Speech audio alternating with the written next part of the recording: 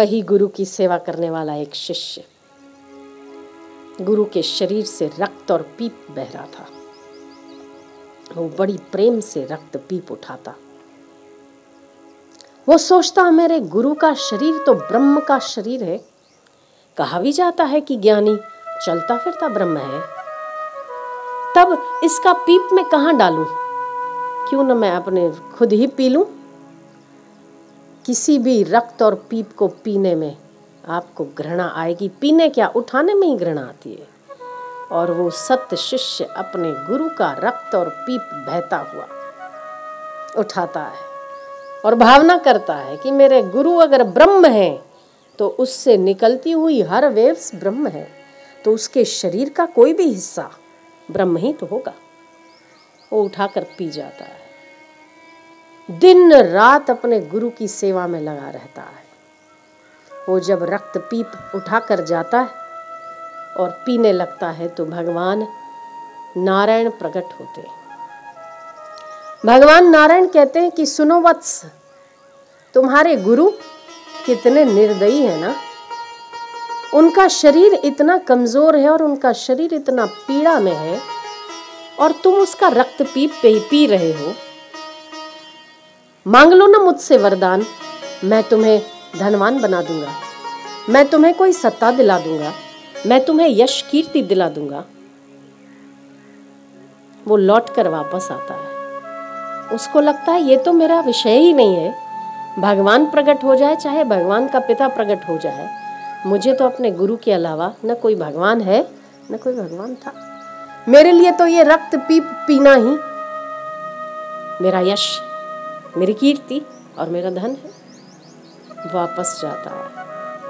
थोड़ी देर के बाद सेवा निवृत्त करके वो जब वापस जाता है तब भी, भी भगवान नारायण खड़े ऐसा इंतज़ार भगवान किसी धनी का नहीं कर सकता अपने सेवक और भक्त का ही कर सकता है। वो सेवा ही है जो भगवान को आपके पीछे घुमाती है।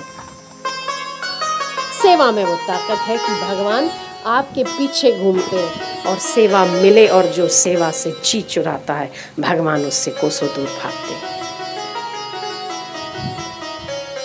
फिर से भगवान नारायण कहते हैं कि, सुनो वत्स, कुछ मांगना चाहो तो मांग लो ना। बोले, मुझे और तो कुछ नहीं चाहिए, पर मुझे ऐसा लगता है कि मेरे गुरु पीड़ा में है तो उनकी पीड़ा ठीक कर दीजिए, पर रुको। मैं पहले अपने गुरु की आज्ञा लेकर आता हूँ। क्या शिष्य है? न थकता है, न हारता है।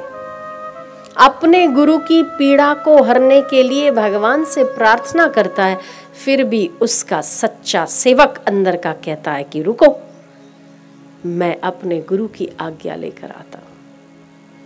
ऐसे आज्ञाकारी शिष्य का अगर भगवान आज्ञाकारी बन जाए तो उसमें आश्चर्य नहीं है। शंका नहीं है उसमें। रुको मैं गुरु जी से पूछ कर आता हूँ। जाओ बेटा, मैं इंतज़ार करता हूँ। वापस जाता है। गुरु के पाँव दबाता है। उसकी आँखों में गुरु देखते हैं कि कुछ कहना चाहता है। बोल, क्या है? बोले गुरु जी आप स्वस्थ हो जाएँगे। कितने लोगों को लाभ होगा? हम्म तो तू कहना क्या चाहता है? बोले, बाहर है ना। कब से लेके भगवान नारायण प्रतीक्षा कर रहे हैं? और वो कह रहे हैं कि कुछ मांग ले। तो क्या ये मैं मांग सकता हूँ कि आपका शरीर स्वस्थ हो जाए? अरे, गुरु ने उठाया डंडा। आए आए आलसी। आलस्य आ गया तेरे को मेरी सेवा करते करते। रक्त और पीप उठाना नहीं चाहता तू, इसीलिए मेरे ठीक होने की कामना करता है।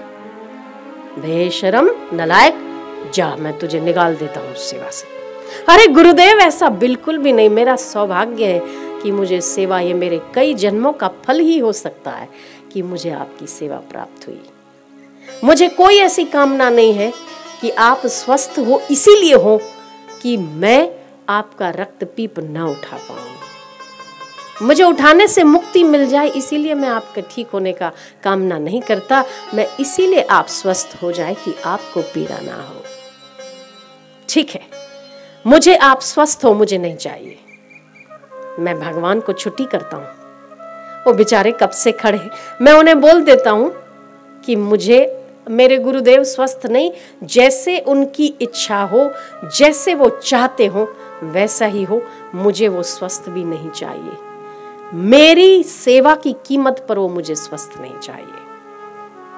वो जैसे ही वहाँ जाता है, तब क्या देखता है कि नारायण की जगह पर चम चम चमकता हुआ अपने गुरु का चेहरा है। दौड़कर वापस आता है तो गुरु की जगह भगवान नारायण लेटे हुए, नारायण की जगह पर भगवान गुरु, अपने गुरु को देखता है। गुरु दोनों हाथ खोलकर खड़े हैं, बेटा। आज तेरी सेवा के कारण भगवान नारायण को तेरे आगे झुकना पड़ा, धन्य तेरी सेवा है। मैंने ही ये परीक्षा ली थी कि कहीं ऐसा तो नहीं तू सेवा करने से थक गया हो। बेटा, आज तू अपनी सेवा में सफल हुआ। तू मेरी आज्ञाकारी इतना पक्का शिष्य है कि आज के बाद प्रकृति तेरी आज्ञा का पालन करेगी। ये सेवक के पास ताकत है, किसी और के पास नहीं। भगवान सेवकों के पीछे घूमता है। भगवान ढूंढते हैं सेवक को। सेवक को ढूँढने की आवश्यकता नहीं पड़ती। प्रभु, मैं तेरा तेरा तेरा, तू मेरा मेरा मेरा। मैं तेरा तेरा